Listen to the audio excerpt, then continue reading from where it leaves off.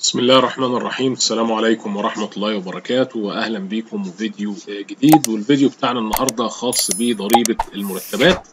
وبالتحديد بنتكلم على القرار رقم 386 لسنة 23 بإلزام بعض الجهات أو الشركات بتطبيق منظومة توحيد أسس ومعايير حساب ضريبة الأجور والمرتبات.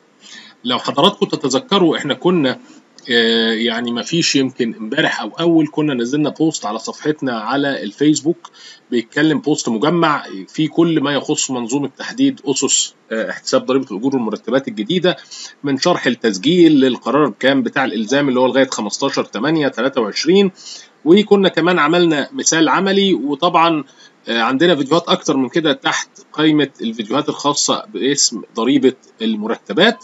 والقرار دوت يمكن بيتكلم على الإلزام بقى يعني واضح كده إن كل الشركات هتروح لمنظومة توحيد أسس ومعايير حساب ضريبة الأجور والمرتبات فبالتالي قرر في المادة الأولى خلاص وده زي ما قلنا قرار وزارة المالية إنها تلتزم الجهات أو الشركات الواردة بالكشوف المرفقة بهذا القرار بتطبيق منظومة توحيد أسس ومعايير حساب ضريبة الأجور والمرتبات وفقا للتواريخ المبينة قرين كل مرحلة من مراحل الإلزام. طيب بالنسبة للمرحلة الرابعة ودي طبعا تبتدي في 15 أكتوبر دي أقرب واحدة دي المرحلة الرابعة المرحلة الفرعية الأولى ودي 500 شركة كويس من ممولي مركز ضريبي لكبار ممولين أول وفقا للكشف واحد المرفق بهذا القرار. طيب يبقى 15 أكتوبر لو نزلنا تحت في القرار طبعا بنشكر الزملاء وعلى رأسهم الأستاذ محمد سمير على يعني توفير القرار على طول أول ما نزلت الجهات. طبعا دي مرحلة فرعيه اولى في 500 شركة زي ما أنتم يمكن شايفين كده. طبعا مش هنقدر نستعرضهم كلهم إنما هنرفق طبعا القرار ده تحت في الوصف بتاع الفيديو.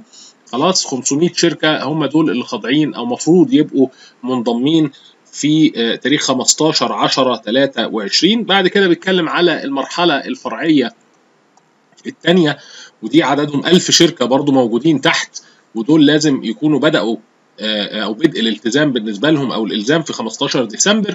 والمرحلة الفرعية الثالثة وقال باقي ممولين المركز الضريبي لكبار الممولين يعني اذا وكأن هو هنا خلاص ركز على الممولين المركز الضريبي لكبار الممولين أول. قسمهم لثلاث مراحل مرحلة أولى فرعية و15 أكتوبر و1000 جهة أو ممول في 15 ديسمبر. ولو بقى في اسم مش موجود يبقى 15 فبراير 24 المادة الثانية قالت تلتزم جميع الجهات أو الشركات من ممولي المركز الضريبي لكبار الممولين. ثان يعني هنا بقى ابتدى ينقل على مركز كويس ممول ضريبي لكبار الممولين اثنين كمرحلة خمسة ودي هتبدأ هنا بقى ما حطش أسامي. هنا قال خلاص تلتزم جميع الشركات من الممولين والجهات.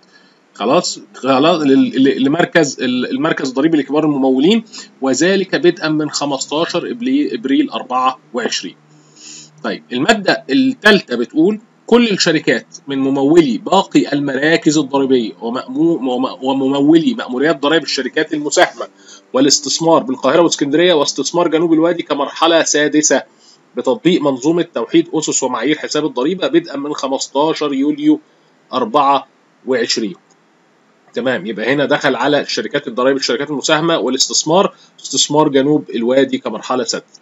المرحلة السابعة المادة 4 تلتزم الشركات الجهات والشركات من موالي منطقة القاهرة رابع وكل المأموريات المدمجة.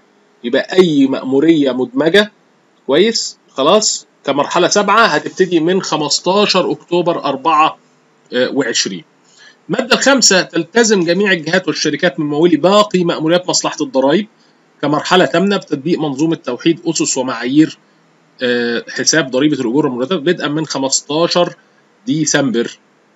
تمام؟ طيب.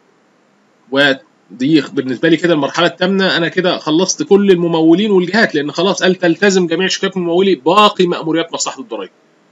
فبالتالي المفروض كده كل المصلحة التزمت. ماشي؟ ده هيبقى في 15 ديسمبر 24 المادة السادسة قال تلتزم جميع الجهات أو الشركات التي يصدر لها قرار نقل من مأموريتها لمأمورية أخرى صدر لمموليها قرار إلزام بتطبيق منظومة توحيد أسس ومعايير حساب ضريبة الأجور والمرتبات بدءا من تاريخ نقلها للمأمورية الجديدة. يعني مثلا بعض الشركات دلوقتي كان مثلا تم نقلها من المأموريات الجغرافية لكبار اثنين مثلا. فبالتالي لو هو ما كانش لسه وقع عليه الإلزام حسب هذا القرار واتنقل لمثلا مركز كبار اتنين يبقى هو ملتزم على طول بهذا التطبيق واخد بالك؟ لأنه أصبح من الممولين أو المكلفين اللي موجودين في مركز كبار إيه؟ اتنين.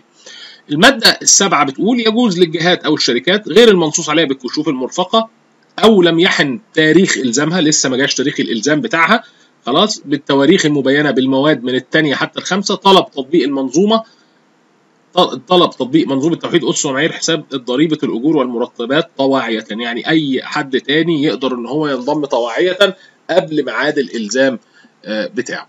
طبعا ينشر هذا القرار في الوقائع المصرية 3 9 وطبعا زي ما أنتم شايفين كده قلنا إن في جداول هنا بقى حوالي يمكن مثلا 75 صفحة كل الأسامي الشركات اللي إيه اللي وقع عليها المراحل الإيه الأولى اللي هم المرحلة الفرعية واحد والمرحلة الفرعية آه اتنين. خلاص كما تم الشرح آه قبل ذلك. برضو ما تنسوش إن إحنا عندنا في playlist مهمة قوي. دايما برضو بنتابع معاها آخر مستجدات للكتب الدورية والتعليمات والقوانين. ودي برضو هنبقى يعني دايما عاملين لها update بكل القرارات اللي بتنزل أو بتصدر سواء عن مصلحة الضرائب أو عن وزير المالية أو حتى قوانين وشرح وخلافه. بشكر حضراتكم جدا وإن شاء الله نشوفكم في فيديوهات تانية. ما تنسوش تابعونا على اليوتيوب على الفيسبوك على التليجرام عشان يوصلكم كل جديد. السلام عليكم ورحمة الله وبركاته.